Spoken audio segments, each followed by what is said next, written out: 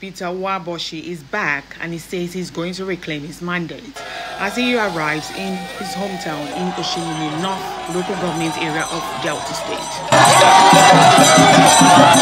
The Court of Appeal in Lagos had sentenced Senator Nwaoboshi on July 1st, 2022 to seven years over a money laundering charge filed by the Economic and Financial Crimes Commission. After being incarcerated for a year and six days, the homecoming in his hometown. Look, I am not afraid of a political battle. I am not afraid of a legal battle. I am not afraid of a spiritual battle. I am not afraid of a physical battle. If for anybody who wants to challenge me, who's anybody who has a hand in my incarceration will pay for it. I will find the person physically, spiritually, and everywhere. You cannot put me to incarceration and get away with it because I committed no offense. Because you want to, you want me to be out of election. What is it? It's not a contest. If you win, why will it take you to go and put me in incarceration for one year and six days because you want to run election? Nwaoboshi also says anybody responsible for his incarceration will pay as he urges his supporters to be patient.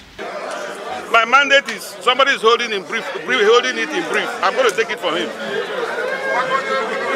They think that taking me out of circulation will make them politically relevant. That is that, that's, that's a waste of time. I've been in politics for over 45 years, and I know that they're only wasting their time. So I'm going to reclaim my mandate. If not, anybody who is involved in my incarceration will pay for it. Either he pays for it or his family will pay for it. Anybody who has a hand, whether you're a judge, whether you're a, a, a, anything you are, and you have any hand in my incarceration because I know I committed the offense, the person will pay for it. You watch and see what will happen. The All Progressive Congress members say the just concluded Delta State governorship and senatorial elections held were heavily rigged and the People's Democratic Party would have to defend itself before the election tribunal. I don't think my, the, my party did not lose the guber election by the facts I have before me. The facts I have before me, APC did not lead the guber election in Delta State. And we are going to prove it in the tribunal.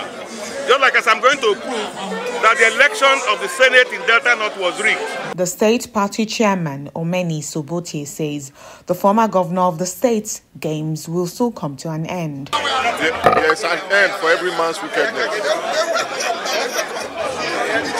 There's an end for every man's wickedness. Okowa's wickedness has come to an end. In the days ahead, we are going to confront him. We are going to pursue him. To, we are going to hold him accountable for all the rubbish he did for the eight years he was governor. As the court nullifies his conviction of fraud, Nwaoboshi says he is fully prepared to reclaim his mandate. Yes.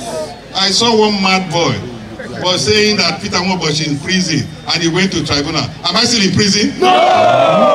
Is the tribunal not on? No! The tribunal is on. I want anybody So I have come now. I will be in the tribunal. Yes. And I'm going to win in the tribunal.